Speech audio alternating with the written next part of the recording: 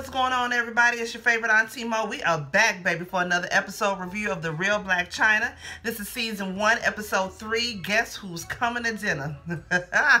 Before we get into the review, if you have not done so just yet, go ahead and subscribe to my channel. Let me know what you think of this video with a thumbs up or thumbs down. And hit the notification button so you will know whenever I upload new content. Y'all. I'm gonna need somebody to get on the phone, call Dr. Phil, Iyanla, hell, Donahue, Ricki Lake, somebody. Let them know they got some new customers on their hand. I said it on the last uh, two reviews, and I'm gonna say it on this one. If you don't cherish the relationship that you got with your mama, bitch, watch this show.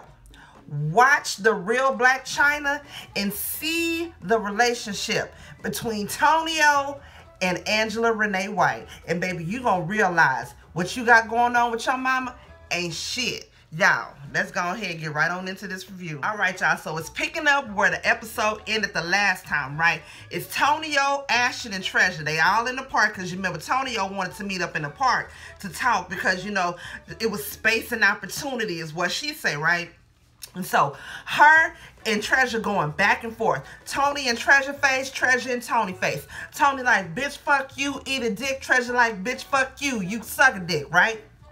For whatever reason, Tonio feels like Treasure is a bad energy in Chyna's life. She's saying that it's because of, because of Treasure that she doesn't have a good relationship with her daughter. And Treasure trying to get her to realize, no, bitch, it's because of the crazy shit that you do and the fact that you all on social media airing out everybody's goddamn um, business and all of her business. And you feel like you can only communicate, you can only communicate with her through social media. Is the reason why y'all into it right now. It don't have shit to do with me. And like, um, Treasure tried to tell her, like, look here, I'm not with her every day. I'm with her like a couple of days out the week, couple of days out the month. So don't try to say that I'm the reason why you and your daughter ain't got no good relationship. You the reason why y'all relationship is fucked up. Treasure even said on her green screen because Toni is like in her face. Fuck you, bitch. I like, like, girl.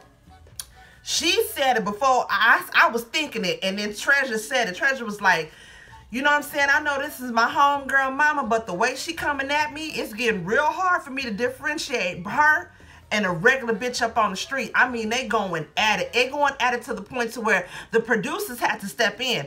Tonio taking her jacket off and shit like she getting real bad about it. So the producers had to step in. Producers getting um Tonio. Ashton is getting Treasure. And Treasure like, look here, I got my hands behind my back. In other words, that was called for her to say, I'm waiting on that bitch to swing on me first because soon as she do, I'm finna mop the floor with her goddamn ass.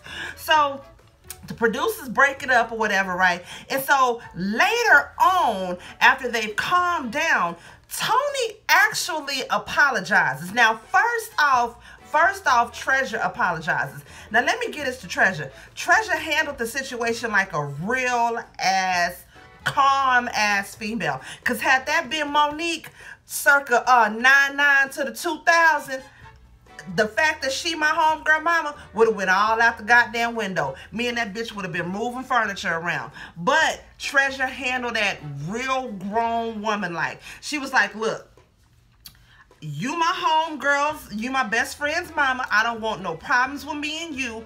I want whatever me and you got to be resolved so that you and Chyna can get back on the same page. That's all I want. I don't want no problems. Whatever situation me and you got, I apologize on my behalf. Now, she didn't have to apologize because quite honestly, I don't feel like she did a goddamn thing wrong.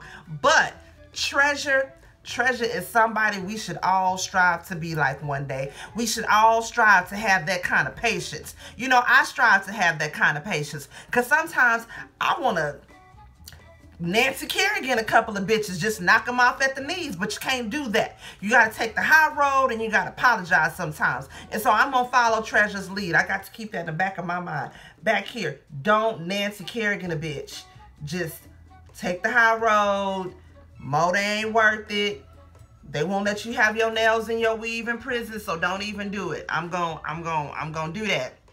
So she apologizes to Toni, and surprisingly, Toni apologizes back to her. She tells her that she loves her and that she loves her kids, and that she does want to try to get together with Chyna and hopefully make their relationship work. So they hug it out, y'all. Hopefully, you know what I'm saying? Shit can stay cordial, but um, y'all know Tonio batshit crazy, so it's only a matter of time. So Ashton and Chyna are back at Chyna's house, right? They're boxing up orders for Chyna's um, company that she got, some online boutique, and she has a storefront that's in LA as well. But in the meantime, she said the storefront is closed down, so her and Ashton like boxing up shit to send out to customers or whatever, right? So Treasure comes in, Treasure comes over, Treasure come in, she looked cute too, girl, I like Treasure. She had a little blonde faux locks with a little Rastafarian shit on. She was looking all cute, body yada yada and all of that. But um Treasure wants to talk, uh, she wants to talk to Chyna and just, you know, chop it up with her, see where her mind is, and really to let her know, you know, she apologizes for how things went with her and her mother, and she doesn't want Chyna to be pissed off at her or to feel some type of way with her because her and her mom got into it. But Chyna completely understands. She like, bitch, I could have told you that. Like, if I can't get through to my mama, you know, hey, good luck and kudos to you for trying. But bitch, I, you know what I'm saying?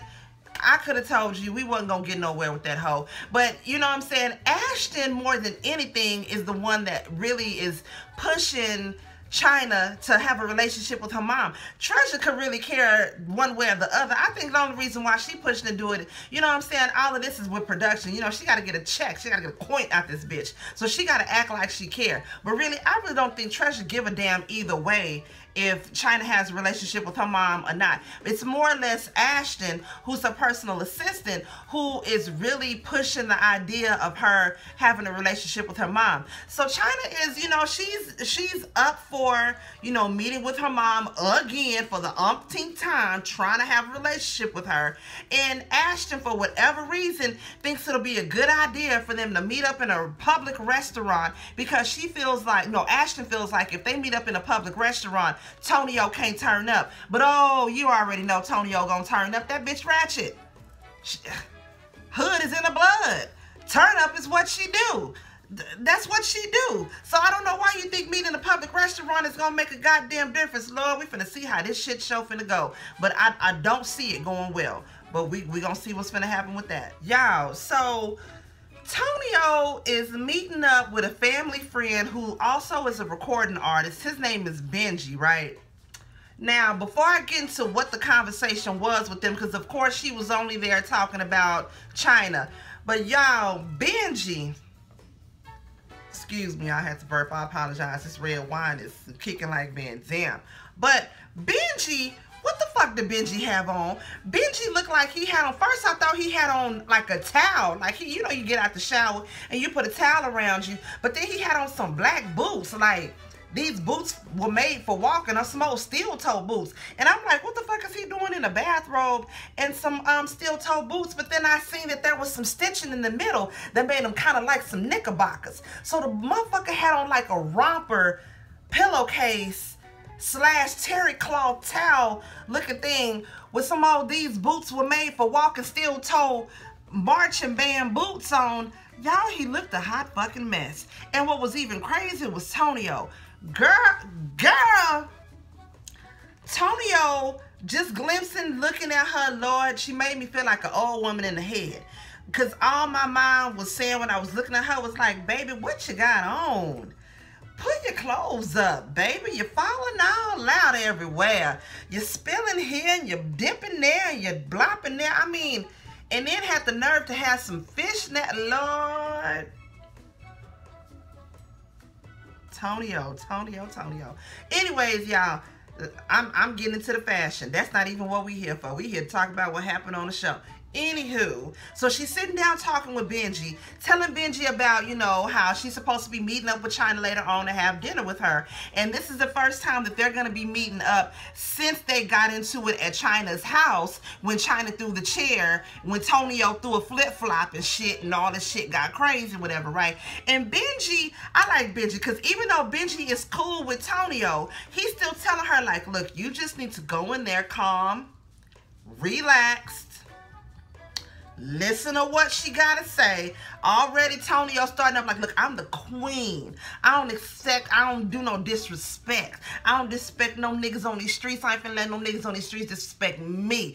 Bitch, we ain't talking about no niggas on the street. We talking about your child, your flesh and blood.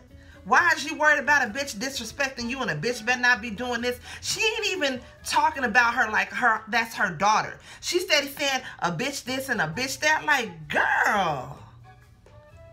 Mom, mama. Mama. You somebody mama.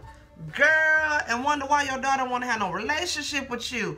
But child, she as well is telling Benji that she feels like she's got a lot of yes men around her that have turned her Hollywood and basically have made her forget about who she is and where she came from.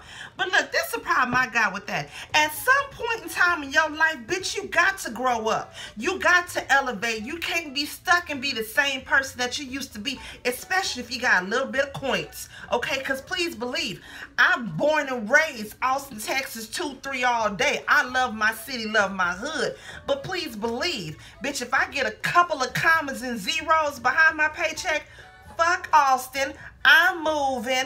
I'll get me a house here. I'll come back and holler at y'all. But that don't mean that I'm, I'm this and I'm that and I'm better than that. No, that just means I'm trying to grow up and I'm trying to motherfucking elevate. God damn it. Ain't nothing wrong with that. Ain't nothing wrong with elevating and and and growing and and and elevating your mind and your settings and all of that. Why you want to be stuck stagnant in the same damn place? And that's what the problem is with Tonio right goddamn now. Like she said, she finna be 50 something years old. She don't want to be out here fighting and doing all of this hood shit. But yet still you finna be 50 something years old, but your mentality is still stuck like you 20 something years old. That's why you ain't never gonna elevate because your mind ain't there yet. Bitch, you got to get woke. Read you a fucking book or something, bitch. Do something to elevate your mind because what you're doing right now, girl, it ain't even working. But Benji did let her know, like, look, you just need to calm down. Don't go in there on that rah-rah shit. Just be willing to listen to her, listen to what she has to say, and then hopefully y'all can come to some kind of agreement. Because um, right now, you going there like you are right now, the shit ain't going to end well. Y'all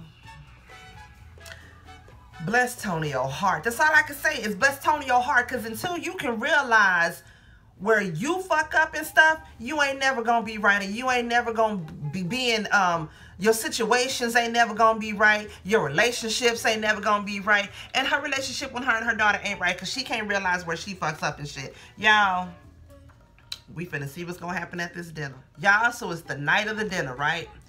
First, Chyna gets there. She's there. She's sitting down. She's on her phone. Next thing you know, Tonio walks in. Tonio's like, hi, Chyna. Greets her, bends over, gives her a kiss and a hug. And Chyna just kind of like, oh, oh, hi, hi.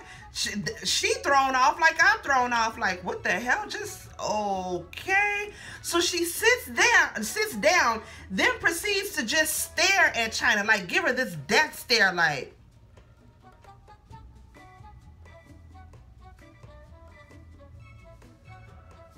Chyna looking like, I don't know what the fuck to say. What the fuck am I supposed to do? What the fuck just happened? Who is this person? Like, what? Okay, all right. So, Tonio starts in, was like, look, okay, well, I'll talk. This is what I have to say. She, that bipolar must have kicked in on that bitch. Because she got, went to crying, got all emotional, saying, I, I've, I, I don't know what I did. Tell me what it was I did wrong. Um, girl, I had to write some of the shit down because I was just, I was dumbfounded. I didn't know what the fuck was going on. She admits that she's struggling and that she's always struggled and that she doesn't know how to communicate with her sometimes and she doesn't want to be mean to her and she doesn't want people to think that she's mean and she loves her and she apologizes and she just wants to be a part of her life and she did the best that she could as a mother and she even had me emotional. I was like, oh my God, oh, Tonio, no, okay, bitch, okay, maybe, Okay, girl, yeah. But then we forgot who the fuck we was dealing with. Girl, Chyna was sitting there looking at her like,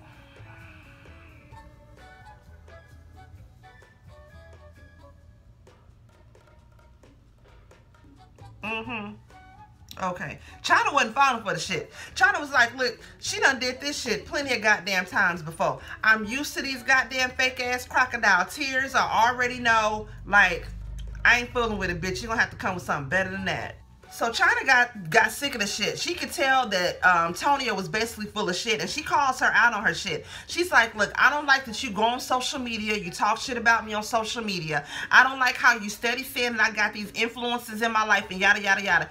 It went from Tonio being emotional, showing a glimpse of being a mama and some remorse to her being like, so yeah, and I said, what does social media got to do with our relationship? And so what? What the problem is, people around you think that you're mean. You're mean. You're a fake ass person. It went, the shit went left. It went fucking left to where they arguing in the goddamn restaurant. Toni starts bringing up some shit about, no, I think it was Chyna, brought up some shit about you didn't want me to succeed. You don't ever want to see me succeed and you don't want me to go to school. Toni was like, I paid for school. I'm the reason why you went to school. Chyna's like, you didn't pay for fucking school. Toni said, I signed some papers. She said, yeah, you signed papers because I was under 21, but you didn't pay for school. Toni's like, bitch, I never said I paid for school. So you just said you paid for school. Like, they started going, it started to get it was dumb. The reason why they started to argue became dumb because you can tell Chyna got a bunch of bottled up shit. And her bringing up school was something that she obviously has been holding on to because her mama's so fucked up. I don't, I'm sorry, but I don't, Chyna is a product of her environment and she is a product of her fucking mother. She is the way she is because that's her mama. That's what she sees. And Tonio steady trying to call Chyna out saying that you don't know when you wrong. You can't admit when you've done this. You can't admit when you've done that. Yet it's still the same thing that Chyna is complaining about against Tonio. You don't do this. You don't recognize this. You don't recognize. I mean, y'all, they both need fucking Dr. Phil. They both need Dr. Phil because I feel bad for Chyna. I feel bad for her because with a mama like that, I've said it before. If you can't recognize where you have fucked up in a situation, where you are at fault at something, you can't expect for them to realize where you coming from. And it's like talking to a brick fucking wall. You can say to this person, I recognize where I messed up. I recognize I did this wrong. I recognize that I shouldn't have said this. I shouldn't have done that. Now, can you recognize where you said this, you did this, you've done this, and they're like, no, I didn't do anything wrong. It was all you. Y'all, people like that, it's no fucking use of talking to them. You love their ass from a fucking distance and you wish them the, the best. And obviously I understand that's her mama and she can't do that with her mama. It's easy to do that with other family members, speaking from my own personal fucking experience. But what I'm saying is I feel so bad for her because in a way she feels like she has to have a relationship with her for the sake of her kids. But girl, no you don't. I mean, I I might sound cold-hearted as hell saying that, but the older I get, the more I realize it is very possible to love people from a distance. You ain't gotta put up with their bullshit, regardless if that's your mama family or not. You ain't gotta deal with it. Y'all, that was the end of the episode. They about to turn up in the restaurants. It's white folks and kids all around. And um, I'm gonna be here for it, y'all. I feel so bad for Chyna. I feel so bad for Chyna. Her mama calling her all kind of bitches and hoes left and right. I was like, girl, girl, girl, girl, girl. But anyways, um, y'all, yeah, that was the end of the episode right there. Y'all let me know what y'all think about this review. Please like, comment, subscribe, and share this video. And I will see y'all next Sunday because y'all know we cuts up for this review. I will see y'all next Sunday. Peace out. Y'all have a blessed week. What's up, y'all? Do me a favor and share the video. Please make sure to subscribe to my channel. Let me know what you think and um, hit that notification button so you will be up to date when I upload my latest videos. Ahala.